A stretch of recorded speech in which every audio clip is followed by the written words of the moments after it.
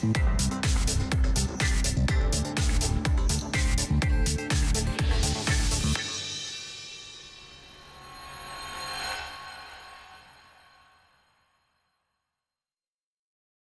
we are not making a food. What?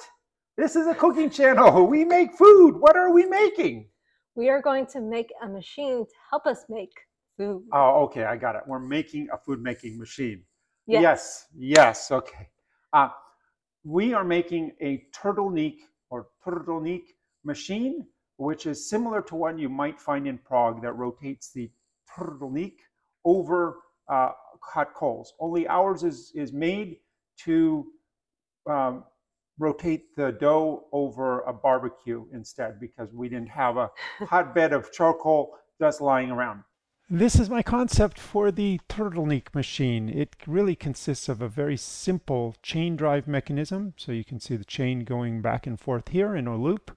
And uh, for a number of rollers, I have four rollers, each one of them with a, a gear on it. And it, the gears drop down into the chain. And just by gravity, kind of hold in place and as the chain moves the rollers turn. And what the, keeps the rollers from just moving along with the chain is they each one of them sits down in a slot so that they can't actually travel with the chain. Instead they rotate. And in order to make the chain rotate we have a, a rotisserie motor actually over here that turns slowly. Uh, this motor I will uh, put in the comments section uh, where you where I got the motor. It's from Amazon. It was just a, a regular rotisserie motor. And on the other side uh, is a chain tensioning device with that consists of a gear that uh, um, provides the other pivot for this chain to, to wrap around. I thought long and hard about how to make the rollers, and I found probably the most cost effective way for me was to buy the rollers on Amazon. Um, just get regular kitchen rolling pin rollers and disassemble them. The motor assembly might look a little bit complicated, but let me just uh, explain my way through it. I think you'll see that it's it's really fairly simple. It consists of two different plates. Uh, the front plate holds the motor in place, and the back place plates has a very large hole in it, a two and a half inch hole. That one uh, scared me a little bit because that's a big hole. The, these two plates, once they're squeezed together, they hold the motor firmly in place. And then these spacers hold the whole motor assembly away from the body of the machine the right distance so that I have room to mount the axle that holds the drive gear. And the motor that I selected from Amazon actually has a, a larger diameter than my drive gear, so I needed to do a coupling to uh, couple that down. The chain tensioner assembly is really important because it keeps the chain from sagging. The way that I did that was I just created or will create a, a sandwich of sheet metal here. Between the sandwich of sheet metal we have the sprocket that the chain wraps around. Together these two bolts mount the tensioner to the frame. And inside the frame there's there's a long slot. Instead of holes there's a slot that allows this whole assembly to move back and forth. So by loosening these two bolts you can slide the tensioner assembly uh, forward or backward along that slot. And when it's in the right place you just tighten down the bolts and the, the chain is at the right tension. So Sarah, I know you weren't uh, actively involved in the building of this, but go ahead and just ask me questions if you see things that look like they're interesting and, and uh, I'll just answer them as we go. This was one of the rolling pins uh, that, that I took apart. So, how much of the rolling pin did you reuse to make the trdelník machine? Yeah, that's a great question. I reused the roller part itself, and then I kept the handle, and uh, everything else I just put in my my uh, spare parts. This here is is one of the new rods that goes down the center of the roller. It's made out of stainless steel, and I need to drill a small hole right through the rod. And this is much harder than it looks because you have to, you know, the, the small drill bit will deflect uh, very easily. Well, see all those pieces of metal? Mm-hmm. Uh, this is a good time to note whenever you're working with metal, you or should, wood. or wood, but metal especially, you should wear safety glasses, protective equipment, because those metal uh, flakes and chips can really, they're very sharp, and if they get in your eye, they can easily cause blindness. Much different than, say, a piece of sawdust, which washes out pretty easily. So what are you doing here? These are the plugs. I'm making them um, so that they don't twist and turn when I attach them to the rods. So uh, I was putting, those are, are panel nails, and they go through the holes that I drilled through the rod earlier. And now I I'm gluing the plugs in place. And because the plugs are glued to the roller, and then the rod in the center is, is fixed using those, those nails to the plugs, nothing will spin, which is exactly what we want. So was that regular super glue you were using? No super glue. That was uh, woodworker's glue. And uh, now I'm putting the handles on the end. And that's just a friction fit. And those gears I will tighten up later once I have them, you know, so I can measure how they fit on the chain.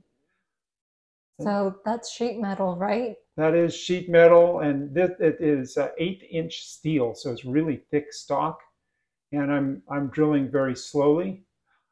And this is the hole that scared me. you see why? At two and a half inches is really big, and look at all the stuff flying out as I'm drilling. It's just going everywhere. That looks like a special bit or drill thing. Drill bit, yeah, it's called a hole saw. And hole saws, you, you just have to let them do their cutting. You, you let them you know, take time and just be patient with it. And uh, if you ever want to use a hole saw, make sure you follow instructions. And, and you're going to hear me say this all the time, safety practices. I had a run in with a hole saw one time uh, with drywall, a drywall project, and uh, almost broke my arm because of that. Um, so be careful with your tools. It looks like a lot of sparks are flying from. That's an angle grinder, yeah, and and uh, it was easiest to cut those slots to have the the rods drop into using that. So it just was grinding off sheet metal instead of having to drill it. And uh, now I'm, I'm assembling. It looks like everything has been well thought out, and you're just assembling it really easily. Well, well, thank you. It you know it looks that way, but I actually stopped a number of times and had to think about it and go back to my design and refine it. So what you're seeing here is, is the results of, of a lot of thinking through the process. But uh, it's, it is all going together. Now I'm, I'm tightening up the motor mounts. And you can see this, the sides of the machine are just threaded rod. There's one of the sides going on right now. So I have a question. You're going to be putting on a chain, right? Yes. Um, how are you going to put on the chain when you've already put the gears on? Oh, so good question. Uh, first, uh, uh, what we you see here is the gear tensioner. Remember, I right. talked about the tensioner, and yeah, you have essentially two loops. You have one loop around where the motor is, and you have another gear that forms a loop on on the tensioner side. Right. And the chain, if you see, it comes as one long strand.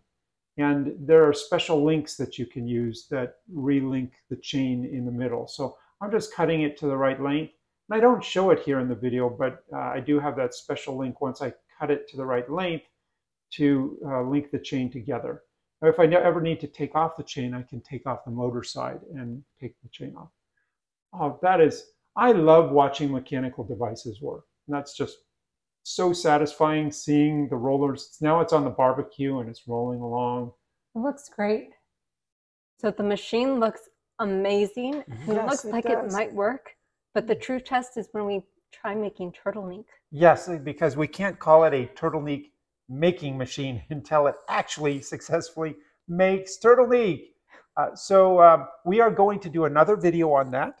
Mm-hmm. And uh, if it's already been published, we have put the link down in the comments. So go ahead and check that out. If you don't find the link there, it's because it's not published yet. You can go ahead and hit the subscribe button and the notify bell.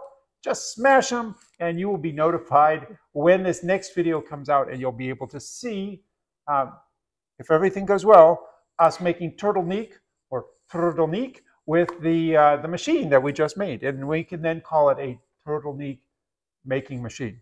Yep, And so I guess that's all we have for this this episode, right? that's all. So is it too weird to say in text until next time, Dobrou chuť? Yeah, Yeah, because you're not going to eat the machine. So please and- don't eat it. Please, yes. Uh, so uh, we'll see you in the next episode.